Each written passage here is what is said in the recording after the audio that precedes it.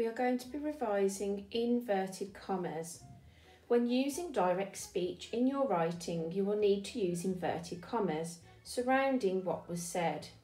Direct speech is any spoken word by a character, so we need to separate the speech clearly from the rest of the text, which means we need to use the correct punctuation. This is going to help the reader follow what is going on in the story. Inverted commas can also be called speech marks. It is important to remember when punctuating direct speech that all of the words which are spoken are enclosed with inverted commas.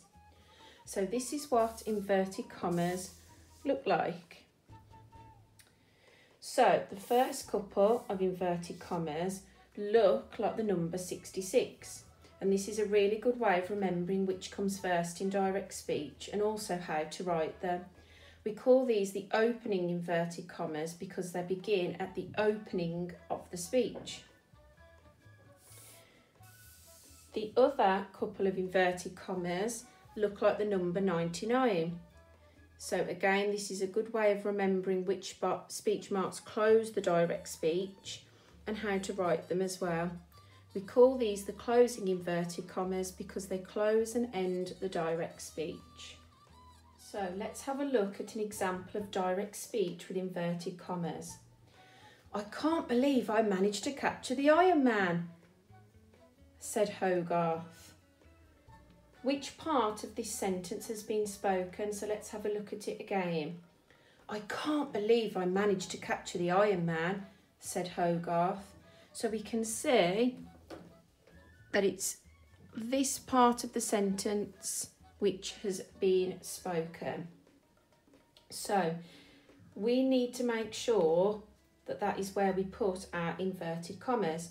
So at the beginning of the speech, we have our opening inverted commas. So these are the ones which look like the number 66. Notice where I've placed them as well. They're at the top of the first letter. Then we finish our speech. I can't believe I managed to capture the Iron Man, said Hogarth. So here we have our closing speech marks. Next, I need to make sure that my sentence begins with a capital letter. So where the direct speech starts, the first word must have a capital letter. So here I have a capital I. Not only do we need to punctuate our direct speech with inverted commas, we also need to include punctuation before closing the inverted commas. So here, can you see where I've put a comma just before the closing speech marks? Commas are really important to help separate direct speech from the rest of the text. So when direct speech comes before a verb, a comma needs to be used. So here you can see I have my comma before my closing speech marks.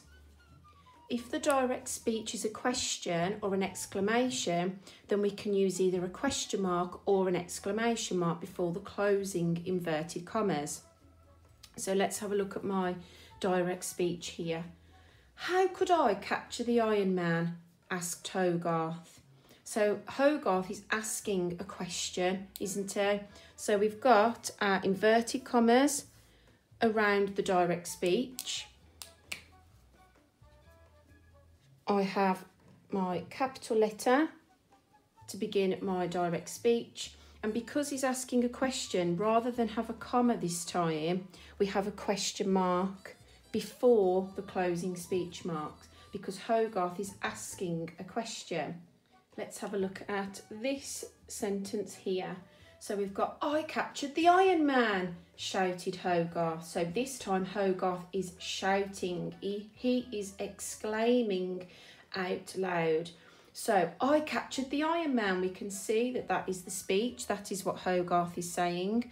So I have my opening and closing inverted commas around the direct speech. I have my capital letter. And because he is shouting and exclaiming, we can show that through an exclamation mark for our punctuation. So rather than a comma or a question mark this time, we have an exclamation mark. Finally, when using direct speech, we need to include information about who is speaking and also how they are speaking. This is called a reporting clause. So here we've got my original sentence. I can't believe I managed to capture the Iron Man, said Hogarth. So in my reporting clause, it tells me who said it. So it said Hogarth. It is Hogarth who has said this bit of speech. However, there are so many alternatives to choose from to express how a character is feeling rather than just using the verb said. This also impacts on how the reader interprets the direct speech. So let's have a look at some examples. So here I have an alternative sentence with a different verb for my reporting clause. So we can see rather than said, it says whispered Hogarth. So this will help me when reading it out loud because I know how I need to read it because I know how Hogarth said this sentence. We need to be as quiet as a mouse in case he sees us, whispered Hogarth. So we can see we have our opening speech marks, our opening inverted commas. We begin with our capital letter, just like we did before. We have our comma, our piece of punctuation. We have our closing inverted commas. And we have our reporting clause, whispered Hogarth. So who said it and how it was said. The sentence. This time our verb is shouted. So Hogarth is shouting this sentence. So let's have a go at reading it out loud. The Iron Man is heading this way, shouted Hogarth. So we can see this time we've read it a lot differently than when Hogarth whispered. So let's have a look for our punctuation.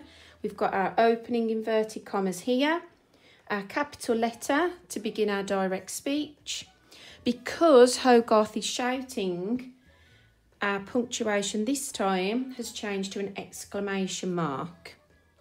And then finally, we have our closing inverted commas because the speech has now finished.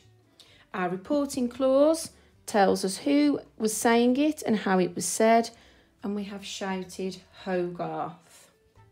The last sentence here, we have somebody different this time who is speaking. So this time we have some direct speech from Hogarth's father, and he's questioning Hogarth. So let's see how we would read this question out loud. Are you sure you didn't just imagine seeing an Iron Man? questioned Hogarth's father.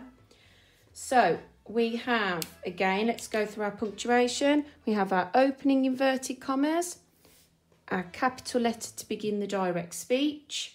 Now, because Hogarth's father is asking a question, we need a question mark at the end of the direct speech. And finally, we have our closing inverted commas. For our reporting clause, we have Hogarth's father who said it, and he was questioning Hogarth this time. So showing that he feels a little bit confused. He's not quite sure whether to believe Hogarth or not. So here we have all of the examples of direct speech, which I have just talked through, using inverted commas to surround what is being said. Have a go at coming up with some of your own direct speech and remember, inverted commas must always surround what is being said to help separate speech clearly from the text.